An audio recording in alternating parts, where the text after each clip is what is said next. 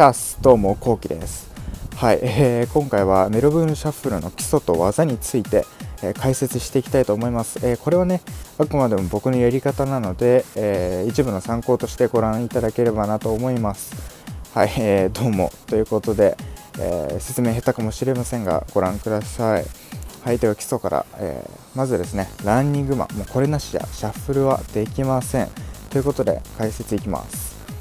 えー、ランニングマンですね。まず、えー、2つのステップ2ステップに分かれます。まず1つ目、えー、膝を上げると同時に、え軸足を中心へ持ってきます。その次に、え2ステップ目上げた足、え膝を下ろすと同時に中心へ持ってきた、え軸足をね後ろへずらします。この2つをね繰り返すことによってランニングマンができます。はい。今映像で流れてる通りですね。こんな感じ。はい、えーと、これ失敗でね、ずっと膝が曲がってる。これ。軸足より足が前に出てない。これはね、もうダメ、これダメダメ。もうこんなんやってたらもう足バンバンバンバンバンって感じだよ、もう。絶対これやっちゃいけません。えっと、ちゃんとね、ここで意識すること。膝を上げた時に膝が90度曲がってること。はい、これ意識してください。えっと、それと足を上げた時に、えっと、軸足よりね、上げた方の足が前方にあるようにしてください。こうすることで見栄えが断然と良くなります。こんな感じね。はい。90度やってちゃんと足を前に出すこと。これ重要です。あとねもう一つ注意するの。これ。軸足引いた時にかかとをベタ付けするの。これやると歩幅が小さくなっちゃいます。バンバン。バン。もうこれだもうこれダメ。ダメ。ダメ。しっかりとかかとをね上げましょう。そうすることで歩幅も広がります。ベタ付けにするとね足引っかかってこけたりする原因にもなりますんで。はい。ちゃんとねここ足上げましょう。はい。もう注意するのはこう膝を曲げたり足を前に出すのとこのかかと。これをね注意すればねしっかりとしたランニングマンができるようになります。はい。こんな感じね。はい、えー、次は T ステップ。これもねシャッフルダンスにはもう必要不可欠。これとランニングマンがなきゃ成り立ちません。はいというわけで解説していきます。でまあゆっくりやってみると、えー、T ステップはこんな感じですね。はい、はい、まずね軸足つま先が内側を向いた時。内側を向いた時に反対の足を上に上げます。え T ステップはね、え軸足、えつま先とかかとの重心移動を交互にやることで移動できますのでえつま先が内側を向いた時に反対の足を上げます。こんな感じね。で逆にかかとが内側を向いた時つま先内側で向いた時に上げてた方のね足を下ろします。はい下げます。こんな感じね。下げる。かかとを内側にやると同時に下げます。そうこんな感じ。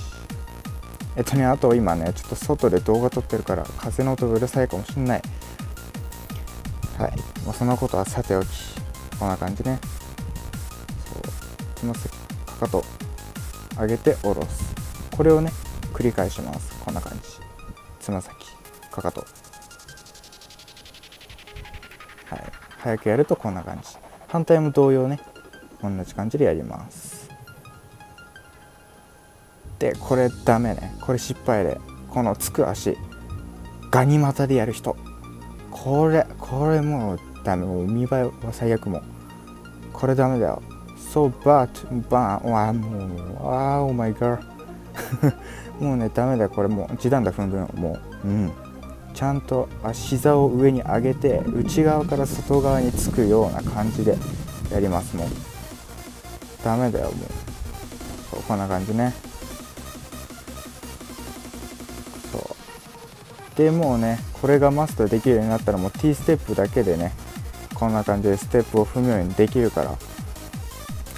はいもうねこれとねランニングマンさえもうマスターできればもうシャッフルダンスできますので皆さん頑張ってみてください。次はねキック。これ技ですねキック。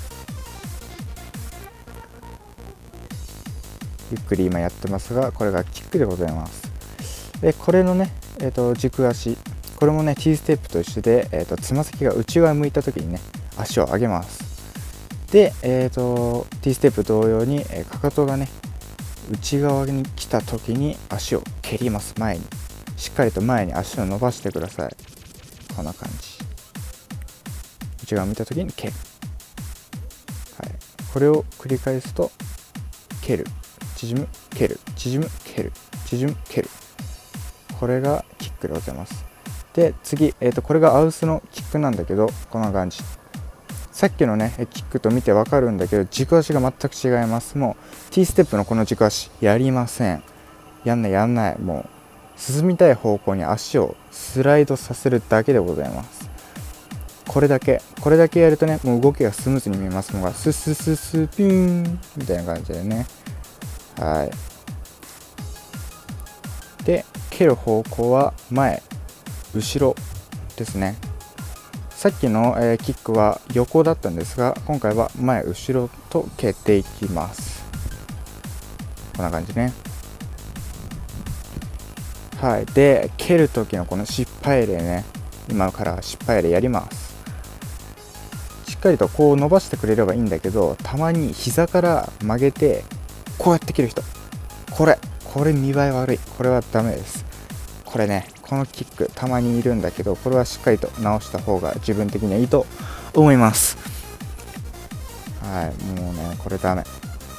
しっかりとこうやって前に蹴ってください。もうねここにうざい人の顔があると思っても蹴りまくろう。しっかりと足を前に出してこれダメだよもうしっかりと足をね前に出そう。はい、えー、次キックスピンですね、えー、キックをしながら回る、えー、そのままですね。キックスピン。こちらの解説をねしていきたいと思います。こちらのねキックスピン、え、軸足は T ステップのつま先の動き。それをね反対回りにして同じ動きをずっと繰り返します。こんな感じね。そう。さっき内側にやってたけどつま先を外側に回しながら回っていきます。こんな感じ。こうね。でねたまに、えーとこうやって軸足で回る時に頑張ってあの蹴った力じゃなくて軸足だけをグリンと回して一生懸命回ろうとする。こんな感じね。やろうとする人がいるんだけどこれはバランス崩すのやめてください。しっかりとね蹴りましょう。でまたここでね膝をガチョンとこれやったらもうダメだこれもう。またこれやったらダメ。しっかり膝をね伸ばしていきましょう。こうやってねでしっかりと蹴った足の遠心力を使って回ってください。それがとてもポイントです。軸足だけじゃなくて蹴った足を使います。でまたこの体を使って重心を移動させてその遠心力で回るっていうのも一つの手です。で1回で回るあれはですね、えっと、2回。2回蹴って1周するのが目安。1周するのに12こんな感じですね。これが目安でございます。はい、えー、というわけでね、えー、説明はこれで以上になります。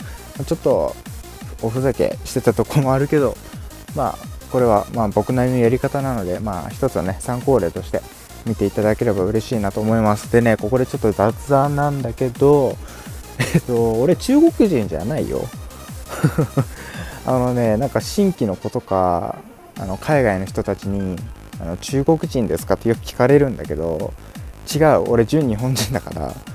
えっとねなんかねあのシリとかベガとかいろんな人がね俺のこと中国人中国人って言うんだけどそれをねまともにね新規の子たちが信じてねえ中国人なんですか？みたいな聞いてくるんだけど違う俺日本人だから。